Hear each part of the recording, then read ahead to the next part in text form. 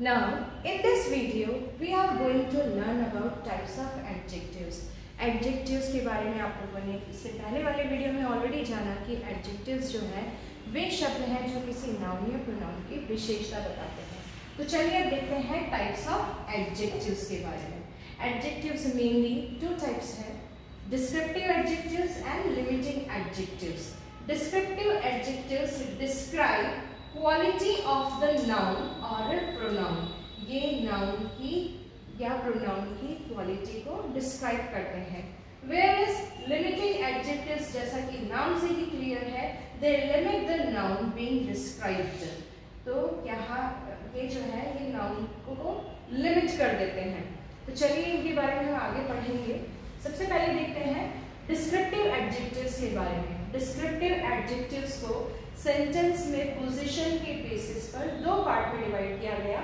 एक कहलाए attributive adjectives और दूसरे कहलाए प्रेडिकेट एडजेक्टिव्स चलिए सबसे पहले देखते हैं एट्रीब्यूटिव एडजेक्टिव्स के बारे में। Adjectives placed directly beside the noun before और आफ्टर द नाउन यहाँ मैंने शब्द यूज़ किया है बिसाइड बिसाइड का मतलब होता है बगल में।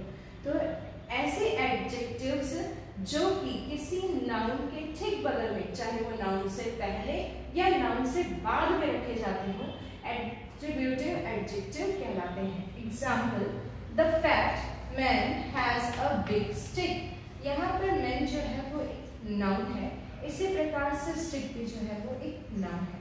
अब मैन की विशेषता क्या है कि वो मोटा है फैट है, और उसी प्रकार से स्टिक की विशेषता क्या है कि वो बड़ी है। तो यहाँ पर फैट जो है वो एट्रीब्यूटिव एडजेक्टिव है, उसी प्रकार से बिग जो है, वो भी एक एट्रीब्यूटिव एडजेक्टिव है। Next is Rohan is a kind word Rohan एक दयालु लड़का है। तो यहाँ लड़के की विशेषता क्या है कि वो दयालु है। और ठीक नाउन के पहले यहाँ पर यूज़ हुआ है, इसीलिए एट्रीब्यूटिव एडजेक्टिव कहलाया। The music made the room noisy हमने पढ़ा था कि चाहे नाउन से पहले या नाउन के बाद में तो यहाँ पर रूम जो है वो एक नाउन है, और उसकी विशेषता क्या है कि वो नॉइजी है। So noisy is an attributive adjective you made me angry यहाँ पर मी जो है वो एक प्रोनाउन है। और उस विशेषता क्या है कि वह एंग्री गुस्से में है। तो यू मेड मी एंग्री तुमने मुझे गुस्सा दिलाया है। तो यहाँ पर एंग्री जो है वो एक एट्रीब्यूटिव एडजेक्टिव है। Now the second one is predicate adjectives so predicate adjectives क्या है? Adjectives placed after a linking verb ऐसे एडजेक्टिव्स जिन्हें लिंकिंग वर्ब के बाद में रखा जाता हो, वो कहलाते हैं predicate adjectives they form part of the predicate ये प्रेडिकेट का हिस्सा होते हैं और इसी कारण इन्हें प्रेडिकेट का हिस्सा होने के कारण इन्हें प्रेडिकेट एडजेक्टिव कहा गया।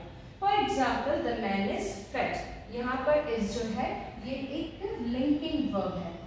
रोहन इज़ काइंड यहाँ पर इज़ जो है अगेन ये लिंकिंग वर्ब है. नाउ लिंकिंग वर्ब क्या है? लिंकिंग वर्ब वे है जैसे की टू बी बी के जितने भी फॉर्म्स है. For example is and are was verb been तो ये जितने भी फॉर्म्स हैं सीन अपीयर या जितने भी सेंस वर्ब जैसे कि look feel smell taste etcetera तो लिंकिंग वर्ब्स जो है, वो हमेशा एडजेक्टिव्स के पहले रखे जाते हैं Now, an adjective often comes uh, before a noun, sometimes after a noun or a verb. Or a verb. So, verb means here linking verb तो आपको यहाँ समझ में आ गया होगा कि जितने भी डिस्क्रिप्टिव एडजेक्टिव्स होते हैं वो अक्सर करके नाउन के पहले या तो रखे जाते हैं या फिर कभी कभी ये नाउन या फिर verb verb means linking verb के बाद में रखे जाते हैं। तो आपको यहाँ पर अब डिस्क्रिप्टिव एडजेक्टिव्स बहुत अच्छे से क्लियर हो गया होगा। अब हम अगले वीडियो में जानेंगे। Second type that is limiting adjectives के बारे में। आई होप आपको ये वीडियो ज़रूर पसंद आया होगा। So please like and subscribe